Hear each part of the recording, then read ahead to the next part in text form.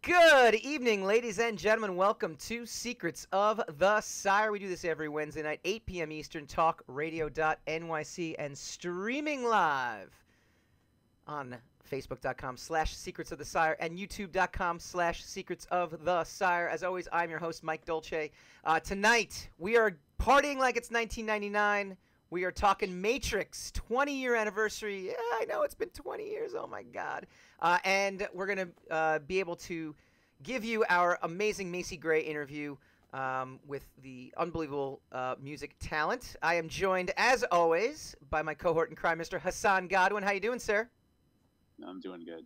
Thank you. Thank you for showing up. Well, thank that's you for thank you, America, for having us. that's uh, that's half the battle, right? Um, Yeah, no, knowing is half the battle. knowing and I think Showing up is the war. Knowing is half the battle. okay. So this is what I want to know. Uh, we're gonna do a cool retro review because I think retro reviews are pretty cool. Um, a- and we'll ask we'll ask the question, of course, does it still hold up? I think the answer is obviously yes, right? I mean, I don't think I don't think we I don't think we have to I don't think we're spoiling anything by being like, yeah, it's still a great movie. Um, but first, can you believe Well- it's been 20 years? Yes. Does it? So it feels. Yeah. yes, I had because it's been I felt every one of those uh, 20 years. But actually, no, it's a that's, that's substantial. The Yeah. Matrix is it's actually odd without even getting into the movie just yet. But it is odd because it is the future, but it's a very it's it's it's amazingly dated for how ahead of its time it is. Just in the accessories, like Yeah. if you look at those phones, Sure. You're like, yeah, that's the 90s, man. I mean, it's a very 90s movie Yeah. even though it's at the exact end of the 90s. Right. It is very 90s centric. So you can kind of feel it. Isn't it funny too? Like I, that's the one thing that I always hate, right? Or like uh, you know things like Star Wars too, where you have to now explain why things look a little dated, like um, you know because they didn't have the foresight to see you know where we were going, or the future itself. I always have this belief like we're patterning the future over you know off of movies that looked really cool to whoever these people are that are inventing all this cool stuff that we're doing now. So, um, but yeah, I agree with you. There's there are elements to it where you're like, all right, yeah. You know, here's the funny thing about the not- '90s. Go ahead. Not as many people wear leather anymore. No. Um, you know, only the cool kids still wear sunglasses. But I mean, that's oh, you know, oh, that's, yeah. Where's? Oh, yeah. Wait. Oh, woo. yeah, yeah. What's going on? Woo-hoo-hoo! Okay. There you go. This is actually not for you your go. benefit. This is for 1999 uh, Keanu Reeves Yeah. party. But now it's I ruined the now it's a visual. I ruined the visual. I gotta, you know, I gotta be honest with you. I'm looking at myself on screen here, and I'm like, this is a good look. Like I just need to do this every week. I don't know why I'm not. Now you now you understand my point, Yeah. don't you? um, And now I won't be able to see your eyes roll every time I say something stupid. I, but I'm, I'm. Italian, so I talk with my entire body. So I'll be like, "Ugh." Like, and that's me being subtle. Like, you know, you- you'll say something, I'll be like, Yeah, I know. You'll just, yeah, you'll just know. you don't you don't have a lot of uh, uh, emotional subtlety. So, But, uh, right. Aside from aside from the obvious, you know, things that are things that don't belong, you know, and what what here doesn't belong anymore in terms of the future.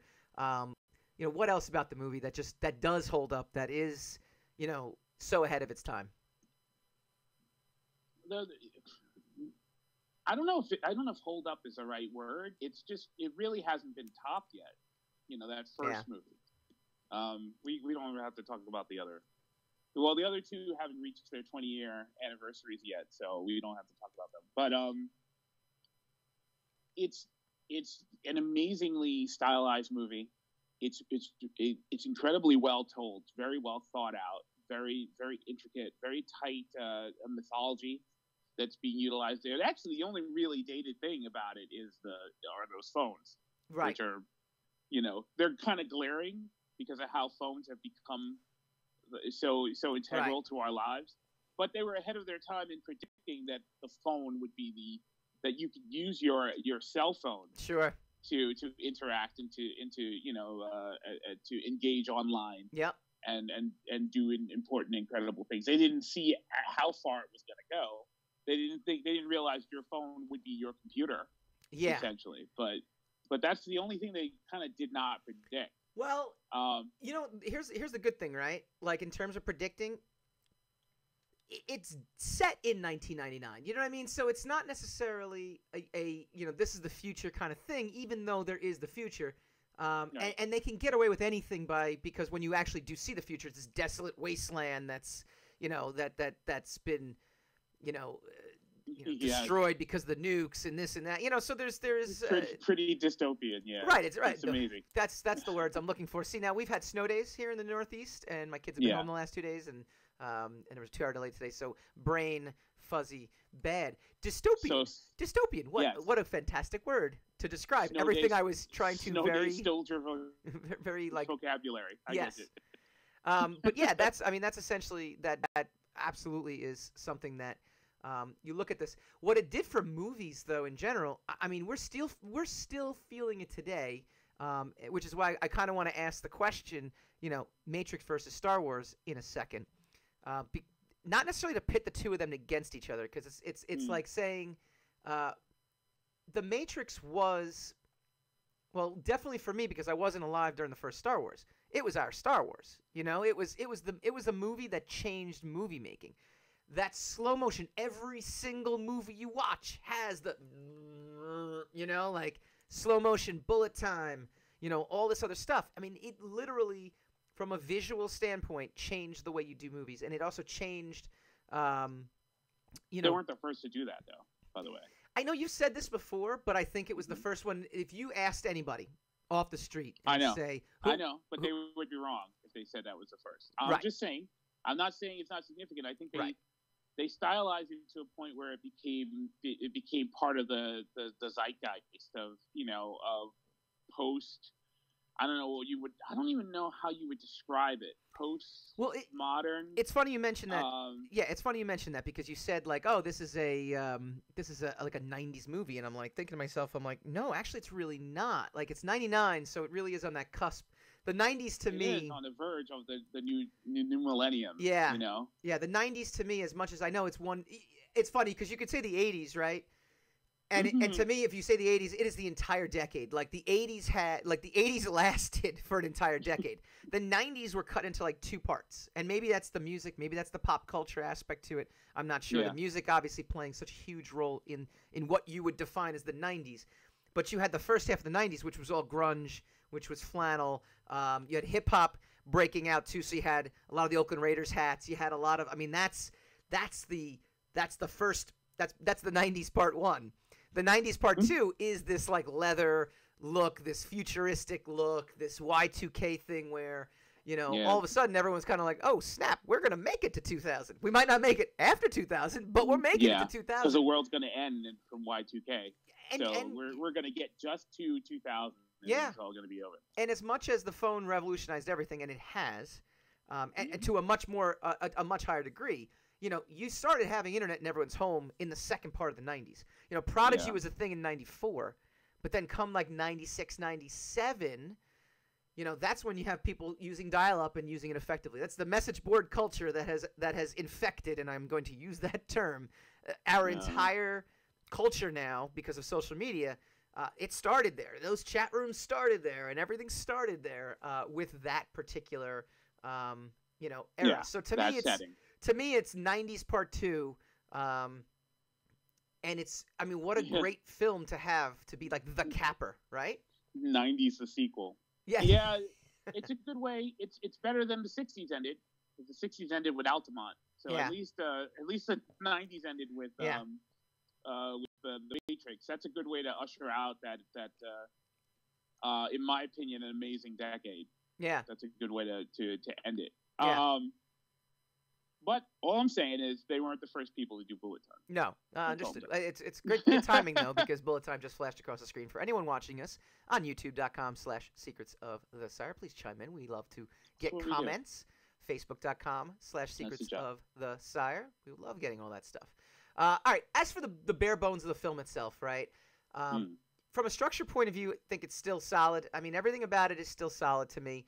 Um, there was no, there's nothing glaring in it uh, that um, stands out to me and and stood out to me back then. You know, we have a habit now of really you know, hyper exercising the the minute detail, like oh this didn't work and this didn't work and this didn't work and this didn't work. You know, there's there's obviously look, there's obviously some things that don't work in the film, but for the most part, think everything works in the film. I mean, what do you think? Like what? What do you think? What do you think doesn't work? Let's just start there. What do, what do you think doesn't work? Because because basically everything else does work. I, Right? I think so. What do you think? I, I- the the the Jesus Christ moment at the end was always kind of a stretch. It was always a little bit of a, and I don't mean that because he came back, just in terms of, um, The resurrection in general. yeah, there was, Yeah, yeah. uh, it was, and, and again, this is this is my like, I'm I'm literally like, you know, you're finding like a little bit of a of a crack in the Mona Lisa, you know, upper right hand corner kind of thing. I mean, I think it's a I think it's a pretty.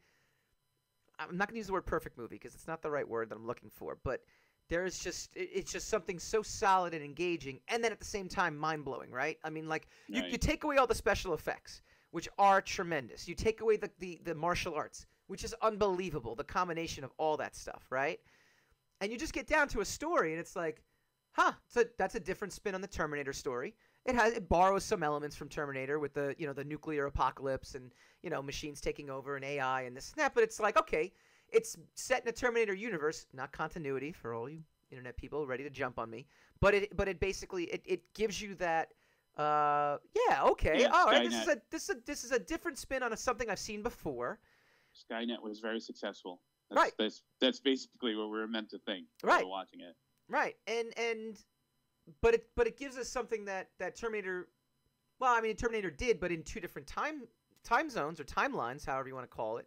Um it, it, it theoretically sets it in present day, right? I mean, it theoretically is like you can go on living as if nothing has ever, you know, you can go living your life, or you can choose to realize that that nagging feeling you had that that life kind of sucks for some reason. Well, yeah, there's a reason, and and that and that's why, you know. So so to me, Yeah. it, it connects to modern day. I think in a way that um, Terminator just can't do um, simply because you're trying to prevent this as opposed to okay you, you actually are in this Right. Right. There's also this weird um. There's there's this really strange uh, story within the story yeah about not so not not so much about freedom because the story is definitely about freedom and about uh, being having your own agency, being the master of your own Sure. destiny, that kind of thing. Not wanting to be live life as a battery. I, I understand. You know, Right. you can get that, but um, this is the this is one of the first times where it shows you that the system, this this this hated yeah device, the system, is actually actually also offering you something. yeah It's the first. It's the first time that they've actually managed to describe why there are people who are devoted to the system right because the system is giving you all these presents. You know, Yeah. the system is giving you a great life, even even if it is a delusion. yeah And when you become free, you notice, like in a, which you know is more apparent in the uh, in the in the in the much maligned second and third uh, Yeah, yeah. installment of the Mhm. Matrix. You find out freedom isn't really that great. You know, everybody's living underground, and right you know, in, in this in this kind of in this horrible subterranean wasteland. And it's it's always cold, you know, and they're everyone's dressed in like rags, and you know they have rave parties, but that's about all the only like joy that you see so well no no you didn't So- you didn't know at that point that they had rave parties all right no, go ahead uh, i was gonna say we got we're, we're actually bumping up against commercial i'm gonna let you finish your point when we come back but I'm just I'm just saying that it's just it's just the first time that you get in this in that in that uh, genre uh-huh of fight the system, you know, like the Robin Hood genre of Mhm. fighting, you know, fighting the system. You get to see why people would choose the other side. You know, it, yeah it showed you. It makes you wonder. It's like, well, why would you want to wake up?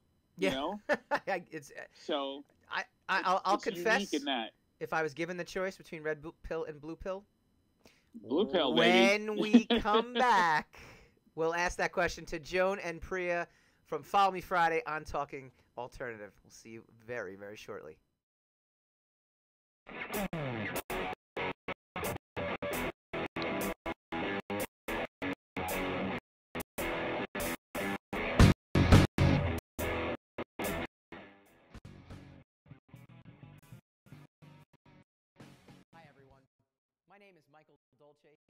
creator of The Sire from Mike Books. The Sire is about a superhero forced by his own costume to fight evil. It's like having a spider sense, but instead of warning him of danger, it actually puts him in danger. It was first launched back in 2006 through After Hours Press and was met with tremendous success. Six issues and a trade paperback later, I thought the Sire's journey had reached a good stopping point. But a funny thing happened.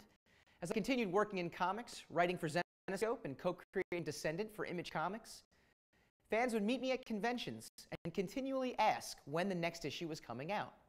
Apparently, the Sire was far from done. And that's why I'm pr- proud to welcome you to this Kickstarter celebrating the Volume 2 trade paperback for The Sire. Collecting issues 7 through 10 and featuring an amazing cover by Jim Calafiore of Aquaman fame. The trade is an exciting way for readers, both new and old, to get into the character. And this trade doesn't just collect old material, it's jam packed with almost 15 pages of new material. Welcome back to Secrets of the Sire. Again, we do this every Wednesday night, 8 p.m. Eastern, talkradio.nyc. We're talking Matrix Retro Review. It's been 20 years since the groundbreaking film. Um, and before we get to our guests, I got to throw this out there, Hassan. Uh, bigger impact, Star Wars or Matrix? What do you think? Uh, I would say for, for that era, yeah. It would have to be the Matrix. I, I for don't. that era. I actually don't disagree with you. I because actually it don't. came along and it but and it was able to compete with Star Wars, which was uh you know which nothing else could really do. yeah. Of course, of course, Star Wars is bigger than the Matrix, but yes. You know, oh, absolutely. know. No, absolutely. I don't think there's any disagreement on that. All right. I'm going to welcome our guests for tonight. We've got Joan. We've got Priya. Yeah, hello. Oh. Hello. Having us. And uh, we've got sunglasses galore, which is always a good thing. So It's that's Matrix night. It is Matrix night. It's it, it's Matrix night in the uh, in the Dolce household, and uh, and everybody is everybody's participating, so that's a good thing. And You had Priya- to. Priya's now back on screen because uh, I didn't have it. And anyway, technical difficulties gone. All right. 1999, ladies. Where? Well, first of all, tell everyone about your awesome show uh, on Talking Alternative Broadcasting, where they can find it and what it's about. Kick Awesome. it off, Joni. It's Follow Me Friday with Joan, and Priya. globally connecting thought leaders in a fun and educational way on talkradio.nyc. Oh, baby. All right. Well, that's exciting. We got it My down. website is joanandpriya.com. Oh, well, check it out. Check it out. All right. Yeah. So Uh, we 1999. don't. We do not have our stick together that tightly. Uh, yeah, I think you're, you're Hassan, you're basically just like uh, Mike. Take care of that shtick thing. I'm gonna, s- I'm gonna be right here, Get your stick down. and uh, yeah, and that's it. I think that's it. All right. Yeah, that's pretty much. That's what we went over. What What do you ladies think about the Matrix? What kind of in, impact, Joe? And you actually have a really funny story about that. Uh, is where you were in '99 in regards to the Matrix. So this copy of The Matrix I've Oh, had for a long time. So 1999, I was in acting school at New Actors Workshop, and I was doing promotional work. I was asked to dress up in pleather, which is now called vegan leather. Ah, okay.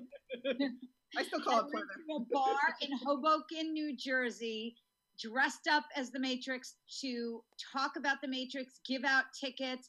It was a beer promo. I don't. Even, I think it was Budweiser, and we gave out tickets and we gave out DVDs of the movie. so you were you were actively involved in the Matrix. You were in the Matrix at that I point. was Yeah. in the Matrix. But let me ask you the most important question: Did you see the movie? Of course. Everybody's seen that movie. Are you kidding? I No, I mean I mean like at the time, like when you were handing stuff out in pleather. You know, when I when had you were selling it. Right. She, she Yeah. had to do her research.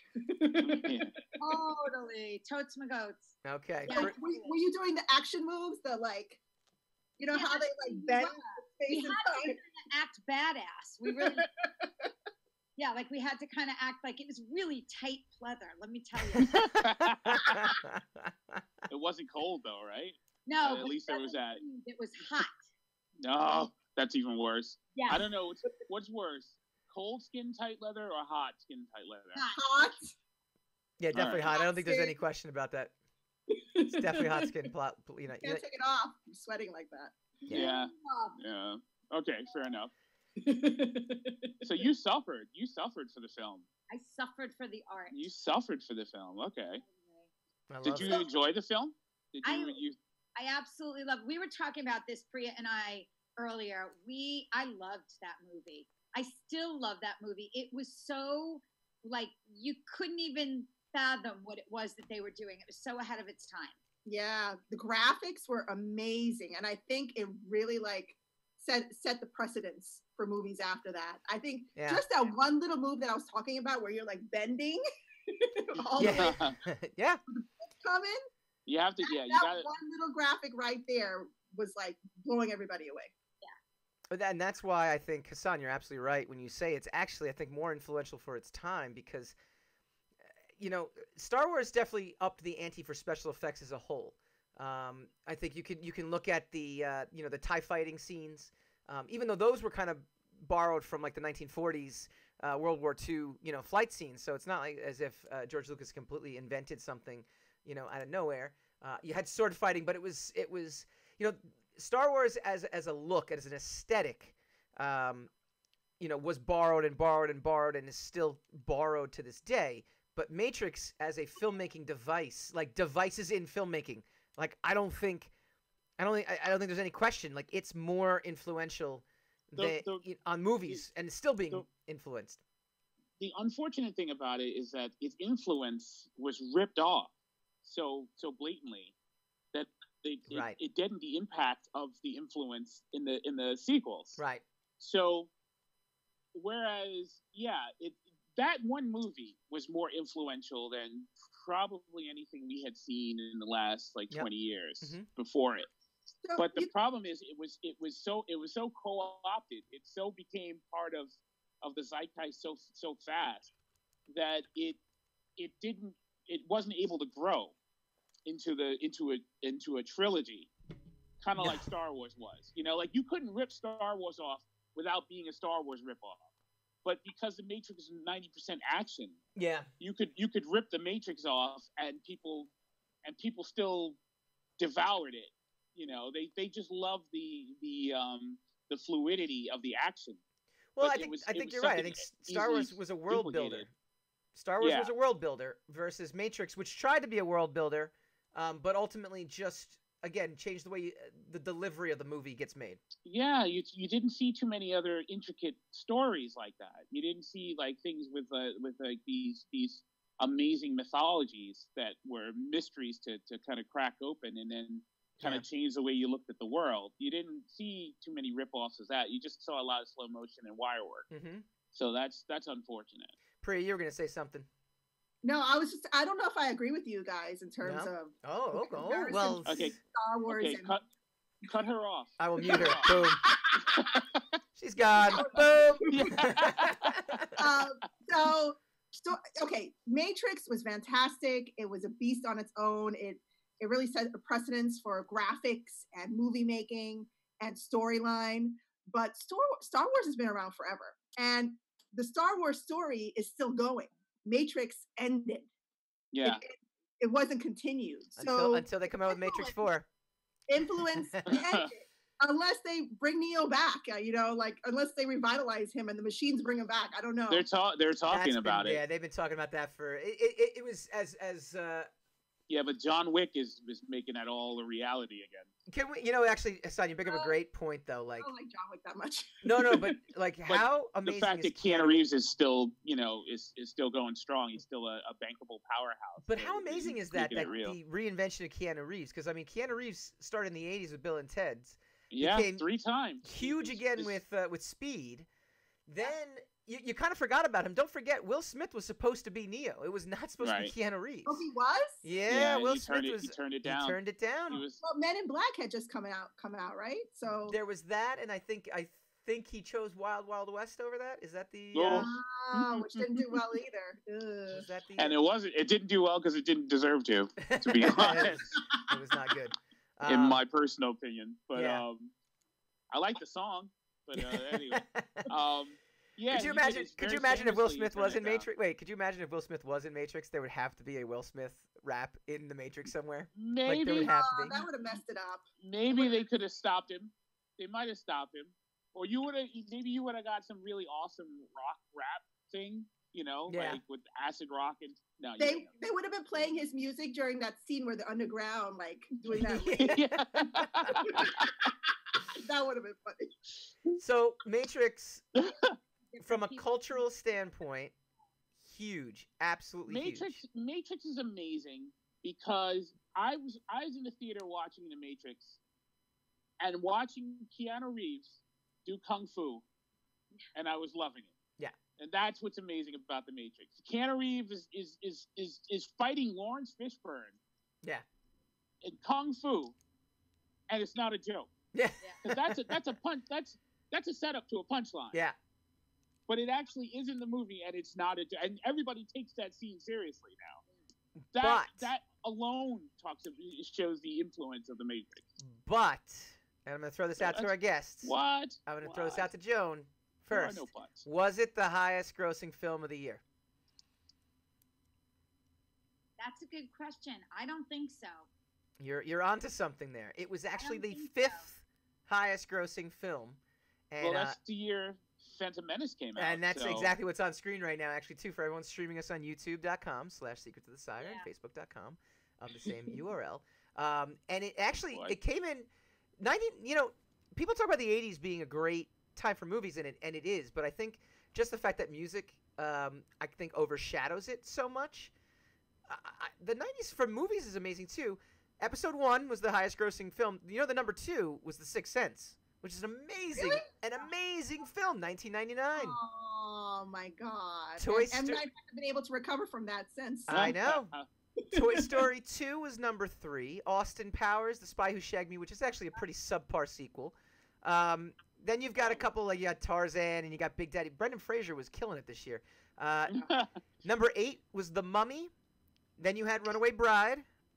And then number 10, which I forgot all about this, Blair Witch Project was number 10. yeah. Oh, that's Yeah. right. Where she was Yeah. like her nose. Remember her nose was running? That was like like, that was a meme before memes existed. Oh. That was like you used to like hit pause on your on your TV and make funny comments about it. You know, like that's what that's what that is, Oh boy. right? So it's Oh boy. and what movie in 1999 won the Academy Award? I know Oh. this because because we, we we discussed it. So uh, I'll I'll give this to Hassan. Oh no. I don't know. It I hate these starred a a Batman No More, Yeah. and it Oh. starred her head was in a box. what? Oh no.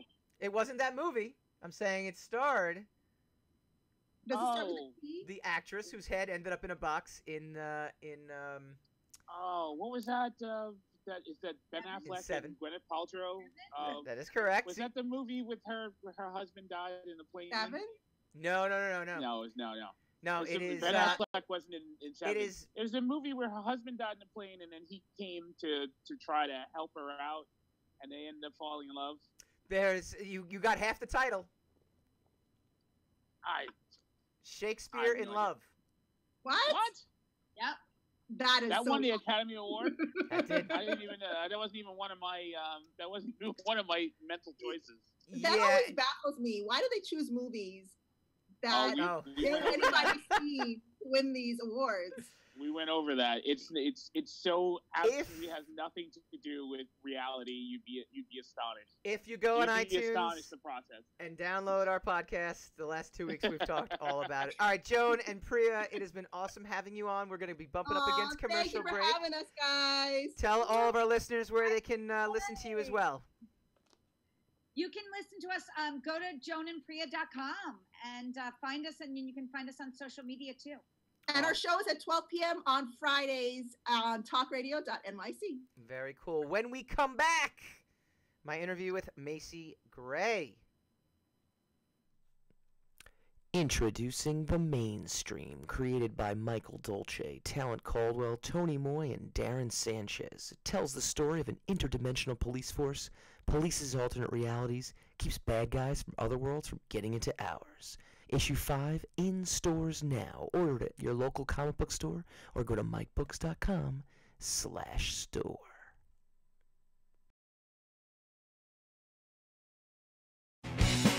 Hi, everyone. This is Michael Dolce, host Secrets of the Sire radio show and podcast. And welcome to our Patreon launch event. To date, we've interviewed actor Kevin Bacon and rocker Chris Cornell. We spent a wacky week with a real housewife and played Love It or Shove It with a comic book icon. We've debated which TV shows everyone should be watching and channeled our inner force comparing Rogue One to The Force Awakens. And that's the beginning. Become an executive producer and get an exclusive feed inside our studio before and while we air. Become a program director and receive our exclusive show outline with insider details on topics and guests hours before we go live. Or just be a fan. For a quarter of broadcast, we'll sing our praises on the interwebs every week. So like pop culture, movies, TV shows, and graphic novels, this is the Patreon page for you. Join us Wednesdays, 8 p.m. Eastern, Secrets of the Sire.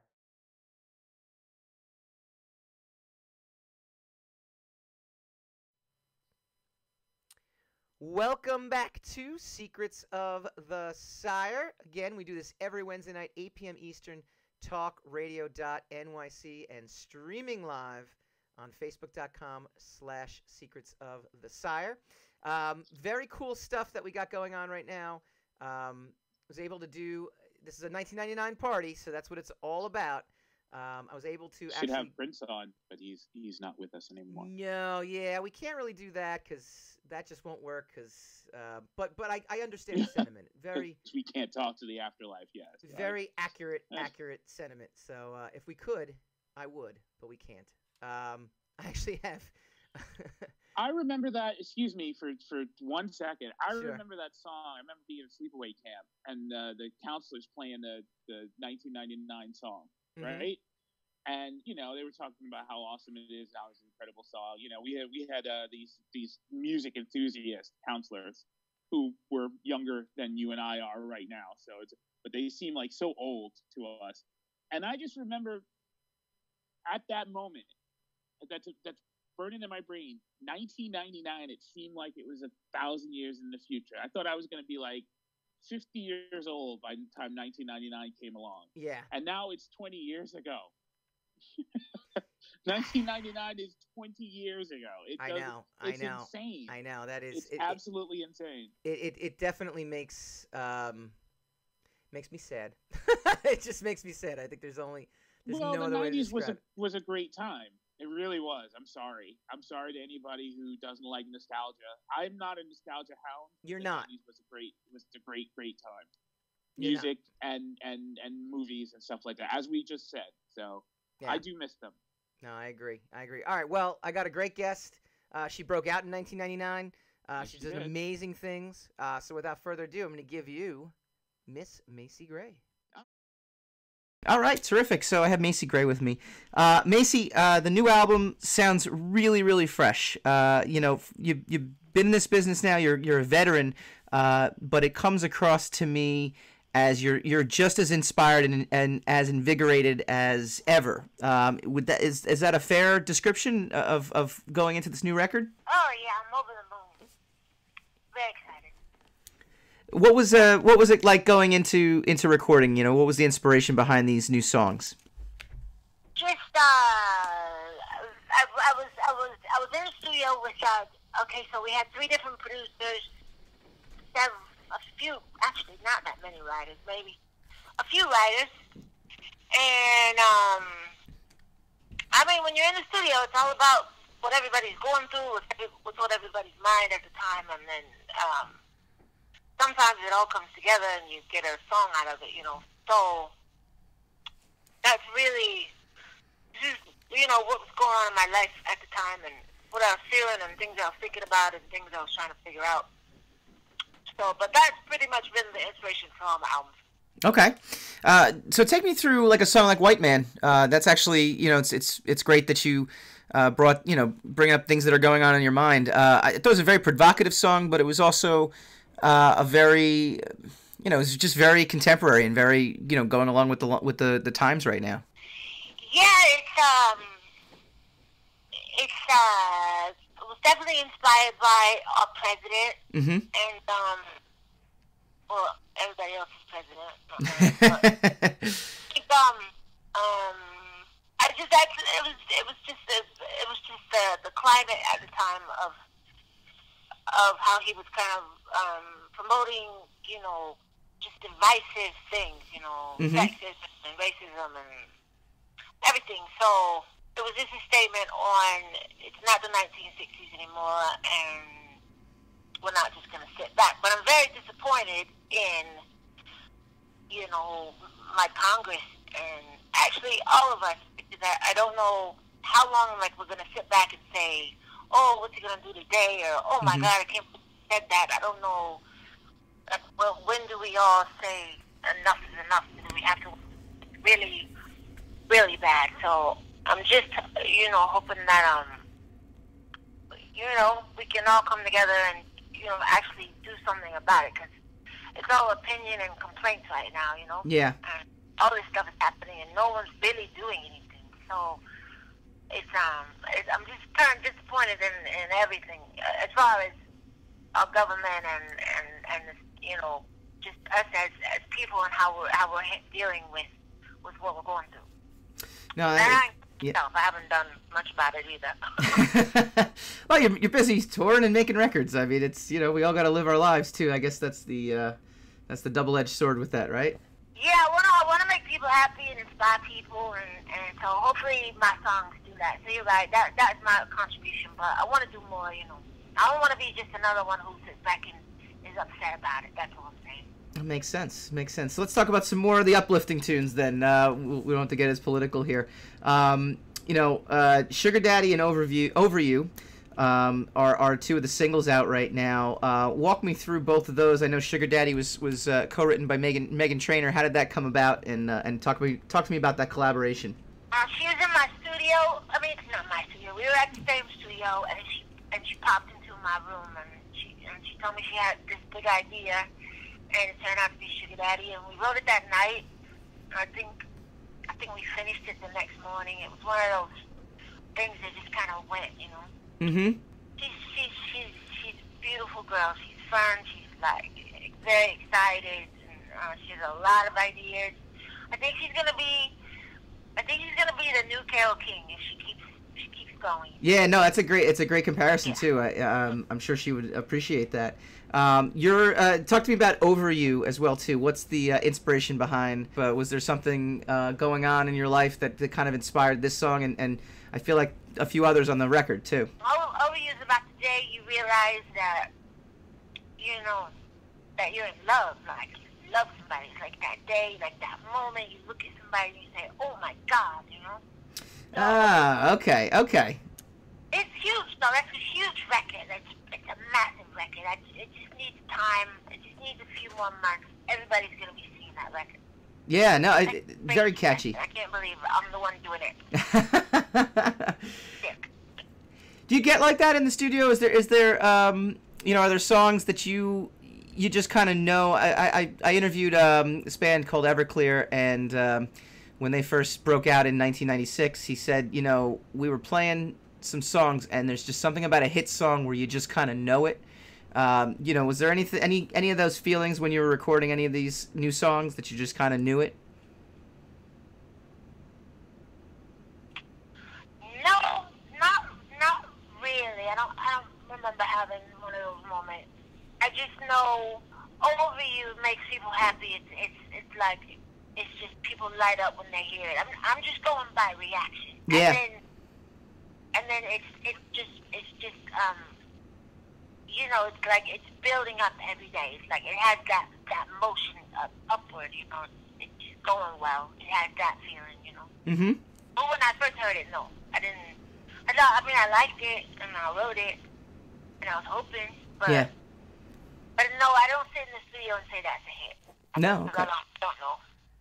Yeah, well, that's it's, it's funny because that's actually what uh, what uh, what the lead singer said. He said when he was playing it out, that's when he just knew people would would just remember it and they just knew it. So it sounds like you actually did have the same kind of thing, just not in the studio, but out playing it, I guess, right? Yeah, just after playing it, like that's the one everybody sings to. Like they'll, you know, like they mention my album, they'll say, they'll say, "Oh my God!" Like black, white, Asian, moms, dads, kids, Mhm. crazy. It has that, you know, that vibe. Like it's gonna make it to the top. So, um, I have a writer friend of mine, and he begged me. He had he because he knew I was going to interview, and he said uh, he needs me to. a- I, he said ask her about as told by Ginger, uh, the theme song, and and about the show. So, how did you get involved in that, and and the theme song, and and, and writing, and and just being involved in the show? Oh, so um, they just it was one of those things that just landed in my lap, and um, I don't know, went in and I cut it, and like in two takes. I love it because it's such a Like, It's just like, it's, and it, has this huge message which I love. Cause she says, "Somebody told me the grass is much greener on the other side," and then there's blah blah blah, and then it goes, "From where I'm standing." Wait, what did she say? Look, from where I'm standing, the grass is green. So it's like you know this message of how you always want more things, but then you you look around and you already got what you got. Yeah. I mean, you already got what you what you're looking for. Yep. You know what I mean? Yep. But it's like it's 30 second song, 30 second kid song, and it's just such a powerful message to, to put out there, and and they did it in 30 seconds on on a cartoon. So I, I love that song. I, I really appreciate you know being a part of that. Well, you, you have uh, you have many many fans, more than just even children who might have watched the show. Uh, you have uh, adults who are big fans, apparently. So it's it's a it's a great thing. You, you've done a lot of, of TV work, a lot of uh, you know just just you know in, in addition to being uh, a uh, you know a, music star, you're, you're in a way you've you, you've done a lot of film. You have a lot of film credits, television credits, and things in general. Um, what are the ones that stand out to you? What's uh, what are some of the um, you know your TV or, or film experiences, or even just like you said, writing the theme song for something that that gets that kind of stands out in your mind? Mm, probably the first time I was on a movie set with Denzel, and that was huge. And then I did Idlewild with the OutKast, and um, I wrote um, I think three um, what do you call them? What's the big the big slot you try to get in a movie? The end theme or what is it called? I forgot. Uh, I I don't just. know, but it's a big deal to get the song that runs over the credits. right? Oh yeah, yeah, yeah. Okay. hmm so I did three songs. Yeah, I know there's a word. I just, for some reason it's, it's slipping my mind. But there's a. Uh, I've written three, three uh, in songs just for Tony Scott, who I loved and Uh-huh. I missed. And, um, but he used to like bring me in just to do a song. So that was a, a huge honor. And uh, I don't know. But all, all of them were cool. I just did a horror movie. That was my first horror movie. So all of them had their own little like you know milestone or whatever. They Mhm. were all they were all super cool. What's the name of the film? Phobias. Oh, okay. Is uh any any release date or or coming out next year? I guess sometime. Um, I know she's in editing, so it's definitely next year. Um, I don't know. I don't know if they have a date yet. I know they sold it because it was an independent um movie, and I know they sold it without even having to go to a festival, which is awesome. So That's great. I think it'll be good. It's it's actually a, a really well written, really good. Like I haven't seen the whole movie, but it, the way they did it was was really great. It's first time director. She's only a girl. She's only twenty seven. Wow. People will talk about it. Wow, that's terrific. Uh, what was it like being on Dancing at the Stars? Mm, it was my nightmare. it was actually when when I was prepping, I had fun because we had I had to because they they bring a camera crew with you, so you can't be like you can't cheat and be lazy, you know. Like Mhm. we had to rehearse like four to six hours a day, so I'm dancing four to six hours almost every day, and I lost twenty five pounds. Wow. like twenty five pounds in six weeks. I was eating pizza, drinking every night, and it just came off. So that was the best part of it. and after that, all the fun stuff ended. oh no.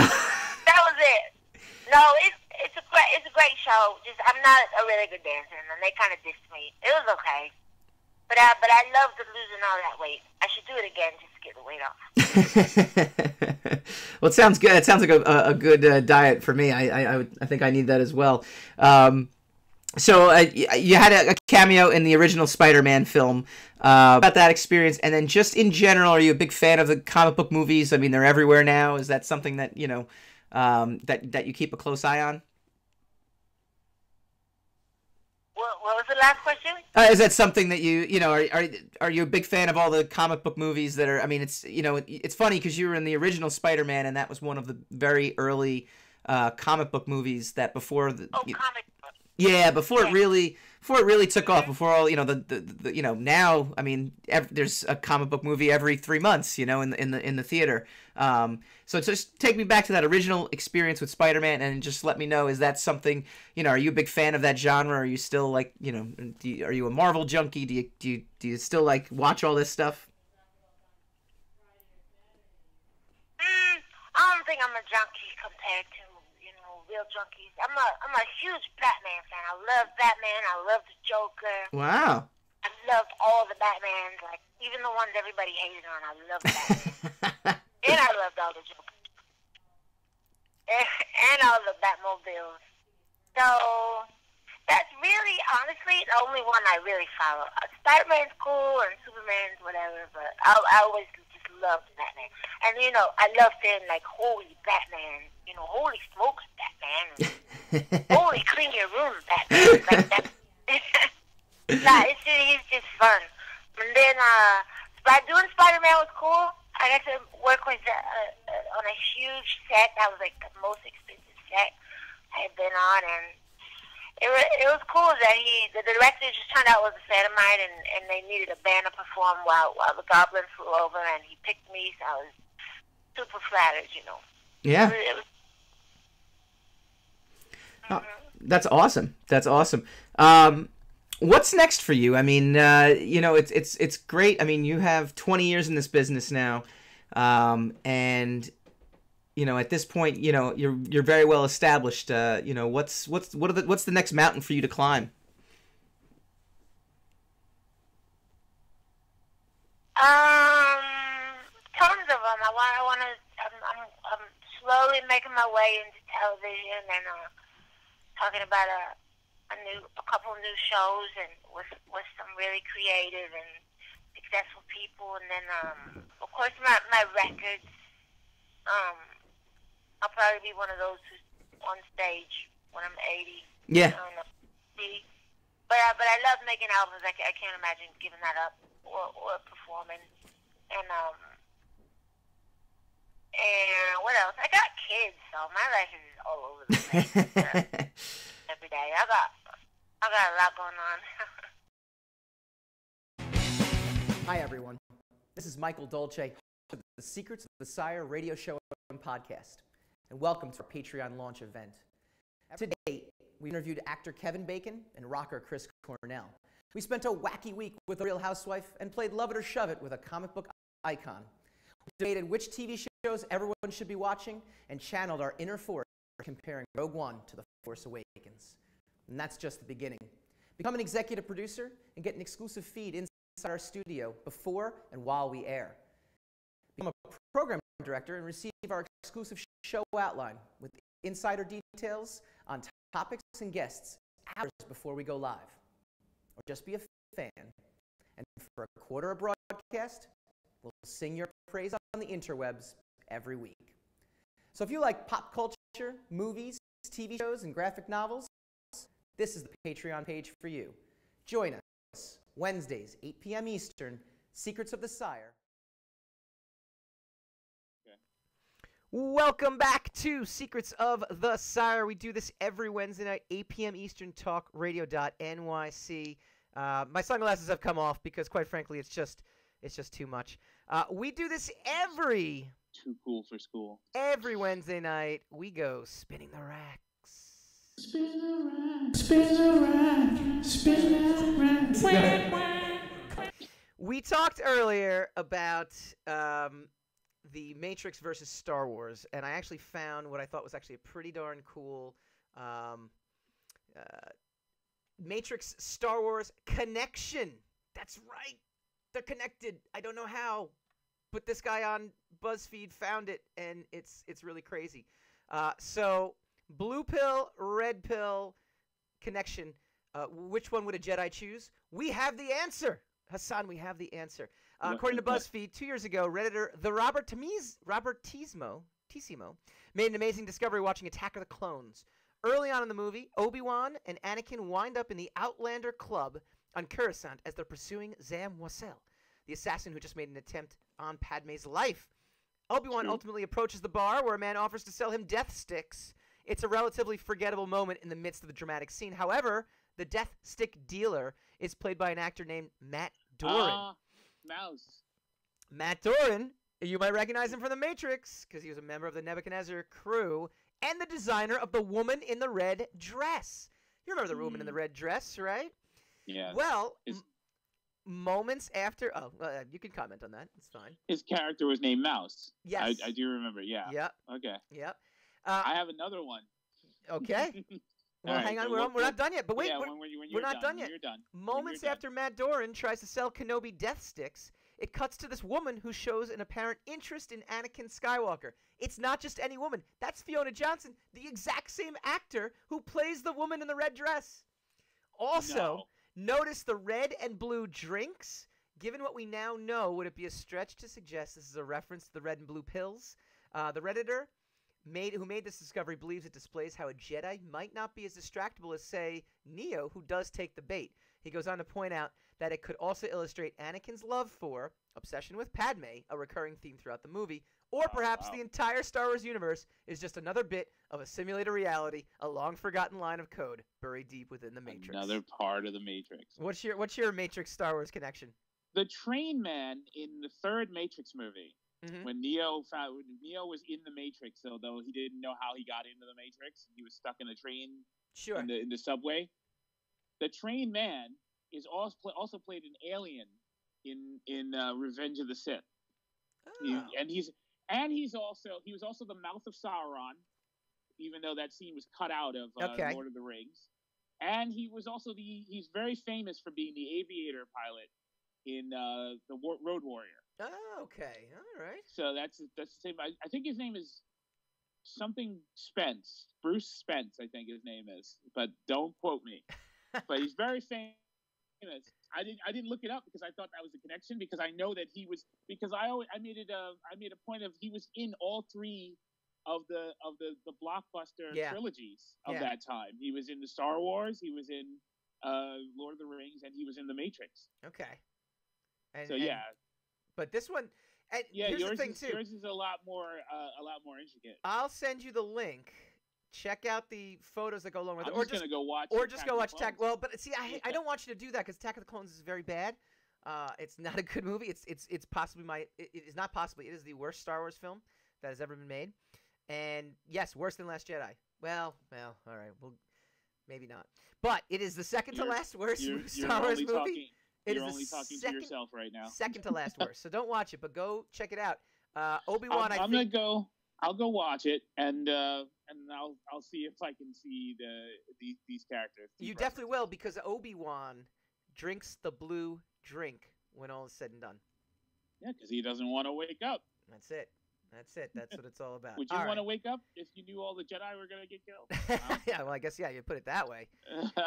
Uh, this one's for you, my man. Um, this is Deadwood confirmed for spring Oh, yeah. 2019 release. Let tell me tell me about Deadwood. Why is Dead? What, what's what's the deal here? What's so big about this? Did it end like Uh, on a Deadwood's- cliffhanger or Uh, something? it's, in a way, in a way, it did. It didn't. It didn't. It didn't. Um, it ended with a resolution, but it wasn't a. It wasn't a full resolution. This main bad guy had come into the town. He was doing all, all sorts of terrible things to people. And at the end of the third season, spoiler, spoiler, he left the town. okay. They never got back at him. They never. They never beat him. Okay. They never got him, but he did leave the town. So it wasn't like a cliffhanger. Like you know, he he wasn't holding a, a an axe over someone's head and then they faded to black and you never knew what happened. But uh, Deadwood is just this amazing uh, show about this uh, this illegal uh, gold rush town in in the in the in the Black Hills Sure. uh, in the in the Dakotas back in uh, I don't know eighteen I think eighteen seventy something. I, I do not know the exact uh, year, Okay. but I mean, uh, and it's it's a, a real historical place. You can actually go to Deadwood Mhm. uh, now, and uh, David Milch was a, just an amazing, amazing, amazing uh, writer, Mhm. uh, television show producer who wrote uh, Hill Street Blues and wrote NYPD Blue and, Okay. and a number of other shows. He he wrote Deadwood. He he pitched uh, he pitched a show about Rome to uh, HBO, and HBO's like, uh, we already got a Rome show, David. So thanks. so he goes, uh, okay, so what if I made it in Deadwood? well, I got this. And- what do you think? Yeah, exactly. And he he, he always uh he always says that's a testimony to being prepared when you go Yeah. these meetings with a pitch and then you have a counter pitch. Yeah. So, um, And and it, it's- was the just it was, a, writing it was a big ex- fan following though, right? I mean, it's it, it was it was those. it, it it was huge, um, but it was very expensive. Um, I guess it wasn't. It didn't justify the cost. Yeah. Um, and it, I think also there was a regime change at H- HBO, where uh, where the people came in didn't believe in it, yeah. so they, they got rid of it. They they it's one it's on the list of things that the HBO executives said they shouldn't have canceled. But it, it always, came many years later. Who who, who cares? you there's know? always that. All right. Well, I want to thank our guests, Joan and Priya. Check them out. Talkradio.nyc on Follow Me Friday. Uh, I also want to give a happy, big happy birthday to my son, celebrating his third birthday. He's huge. He's awesome. Love of my life. I love him so much. And my wife's birthday is tomorrow, which means I get off the hook with Valentine's Day uh, and a birthday being combined into one. Your wife's birthday is on Valentine's Day. That is correct, sir.